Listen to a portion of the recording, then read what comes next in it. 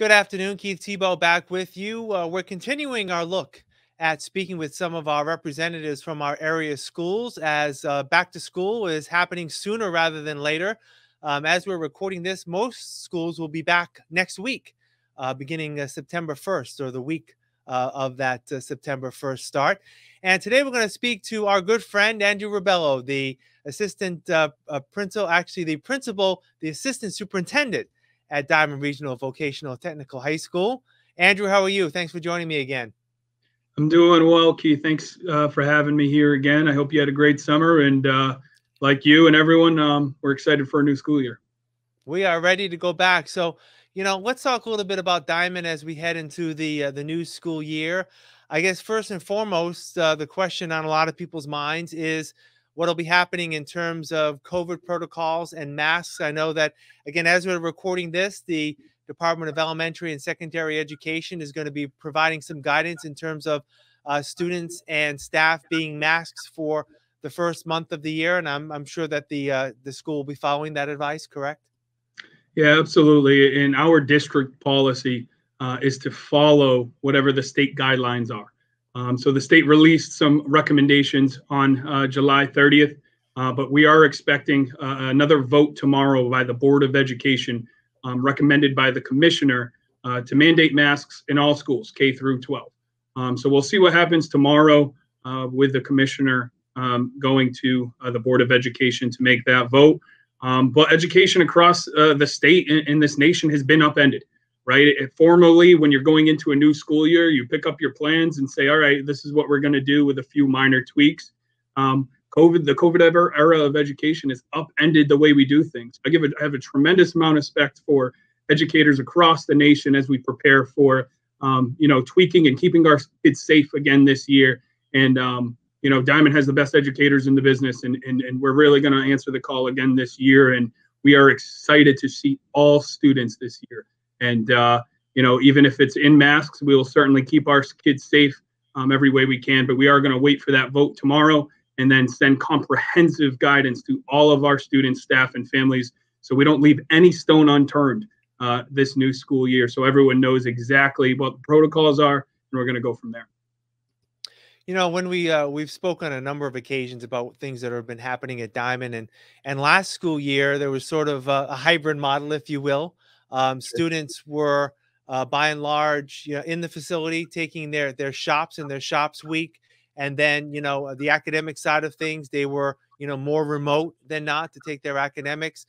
Now that everyone is going to be back fully, and we'll talk about what that means and the excitement around that in a moment. But in terms of getting ready for having people come back, was there any other things that needed to be done physically at the school to prepare for the new school year? Yeah, so we want to prepare our teachers as best as possible, right? Our, our big motto is, is getting kids life ready and getting our educators to bring their best versions of themselves to school every day so they can affect change in our students. As far as what we're looking at uh, as preparation goes, again, it's going to come with that vote tomorrow. Uh, and then from there, we will, as feasible, distance as possible. So that means maybe some distancing for lunches, um, reassessing all of our protocols from hallway transitions to bathroom usage uh, to lunches as well. Um, so there are things in preparation. You know, we're going to be fully stocked uh, hand sanitizer, making sure there's uh, available masks to use. So these are things that are ongoing in process. Um, just knowing the situation with COVID and how fluid it has been, we have certainly been uh, ready on that end as far as preparing our school from a PPE and technical perspective. Uh, but in academic and vocational shops, as feasible, we'll be looking at those spaces to ensure that um, there's distancing when possible. Uh, and then from a curriculum perspective, to answer your question, Keith, there has been a, a tremendous amount of work that our educators have put in uh, to identify where learning loss has happened, where what curriculum was missed the past year. You know, in the first uh, in the first question, I addressed that uh, you know education's been upended. Um, so we're not sitting back and waiting for it to come up, up to us. At the end of last year, we gave a diagnostic test to all of our students to see what was missed, where they where we need to accelerate learning. Um, so we're going to go into this new school year with a lot of data on each student on what they missed academically, what they missed vocationally, reteaching what we have to, and then pushing forward. Think about it. Kids were hybrid. Um, you know that education model doesn't work for everyone. We're going to have students back in the building this year, and we'll really be able to accelerate all students' learning. Because one thing we did learn from this, right? There's a lot of uncertainty, a lot of change, but one thing that remains constant is students learning in person is the best educational model. And I think we do it better than anyone else, as we have shown with the incredible educators and incredible administration we have. One final COVID related question, you know, in terms of uh, coming back, um, you know, you actually had the opportunity to uh, set up standards in terms of protocols in the shops because by and large, those students were in in the building, right? So, you know, where there's a lot of uh, close contact in in some shop areas, depending on the shop and the vocational education, you were able to make arrangements there. And then on the academic side, you know, when a lot of students were remote, in some ways, um, that's easier to remedy coming back, correct? Because they're sitting in what was called the traditional classroom with with desks and the like. So mm-hmm. has it been maybe a little easier because you already took care of that, you know, vocational piece last year? Yeah. Yeah, and and that's why it, in May we ended up bringing back all students with some protocols in place. Um, so you are we are going to be using some of the same uh, line of thinking with, with trying to take uh, precautionary measures across the board as far as uh, hand sanitizing and hand hygiene protocols, mask protocols. And we learned a lot of that as we as we went through last year because we had to develop it for the vocational side because we brought those kids in on day one. Um, and as we went and continued to bring more and more students back, especially on the academic side, we are able to use uh, some of those protocols to mimic uh, both. So, you know, looking back at last year, we, we definitely learned a lot and we uh, are going to be able to use some of the things uh, that were successful to us. And that's what we do every year. So there's nothing different as far as tweaking and, and consistently looking and, and, and consistently making sure we're providing the best education possible and continuing to do what this community has come to expect from Diman, and that's providing a world class education. So that means constant improvement on our end, continue to look at you know how we're going to educate kids in a safe way. So we're certainly going to be using some of that uh, from last year. You know, everyone we've spoken to really looking forward to having as normal an experience this year um, as possible. So let me just ask you, um, how are all of you uh, getting it ready and getting excited for that first day on September 1st to to have as normal as experience as you can have that we haven't seen in quite some time. Yeah, I tell you what, uh, to to hear these hallways buzzing again uh, is going to be something that I look forward to. And we got a taste of it last year when we brought all of our students back in May for the last four weeks of school. Um, but to start fresh from this year, there's there's nothing better than that.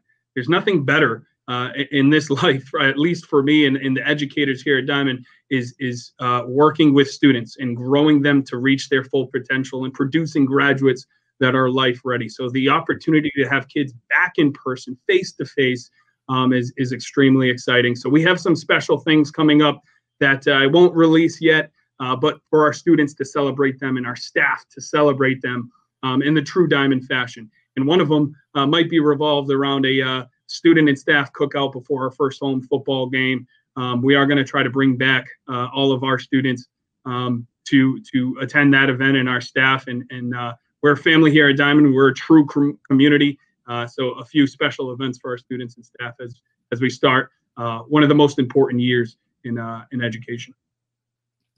So let me ask you, what are some of the exciting new things that students can expect to see this year, either academically, you know, extracurricularly.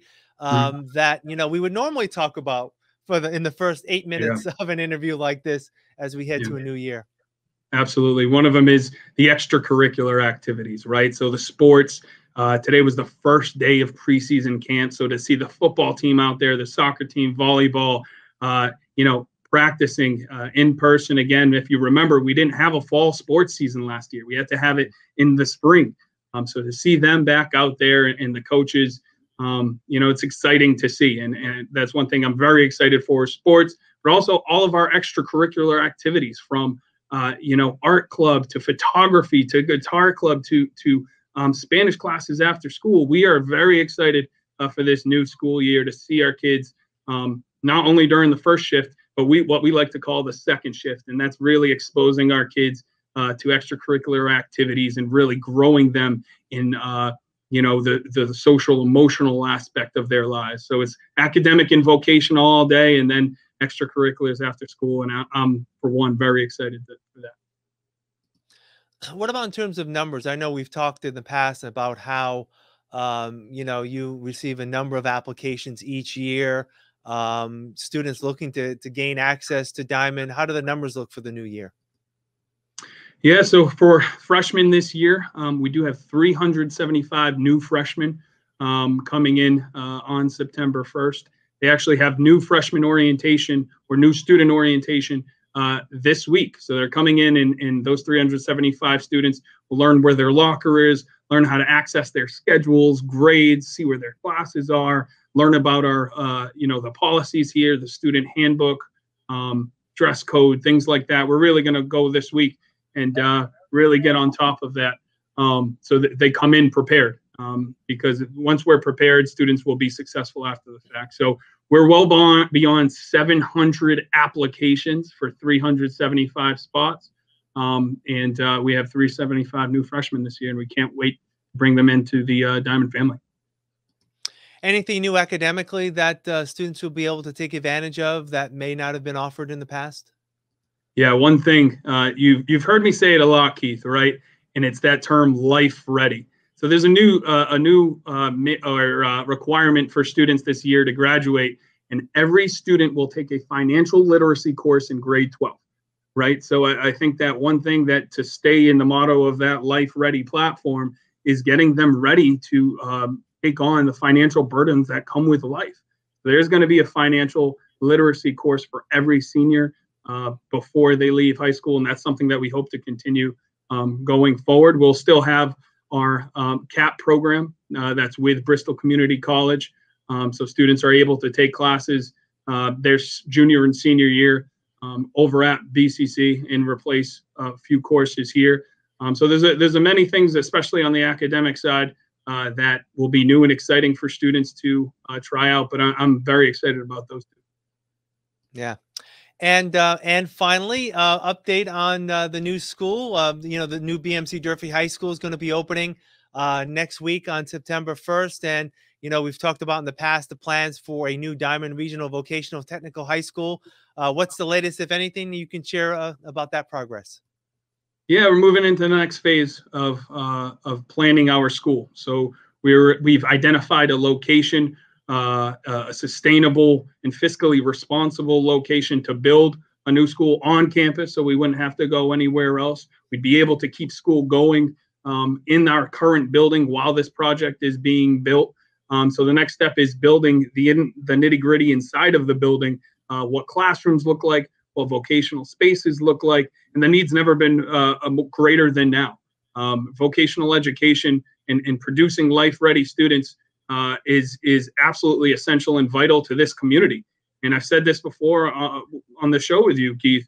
Is a vote for a new Diman uh, is a vote for a better Greater Fall River, uh, and that's that's undoubtedly been proven. Um, so right now we're still in the planning phase. We have identified where it would go, how we would build it, and and like I've told you before, it's going to be the most physically responsible project uh, because as you know, there are multiple projects going up around us. So that's something we want to bring to the voter, right? We trust the intellect of our voters in this community. Um, and that's, and, and, and we will certainly capitalize on sharing all the information that we can. So no stone is left unturned as far as what people know about this project, how much it would cost. Um, so the next phase here is, is designing the inside and then uh, a vote will go to the city and the towns in the springtime, but we still have some time before that. So we're still designing um, every single space um, to not only meet the high excellence that we've had uh, here at the school, but continue to produce graduates that will supply the next generation of workforce for this community and the next uh, generation of life-ready Diman graduates.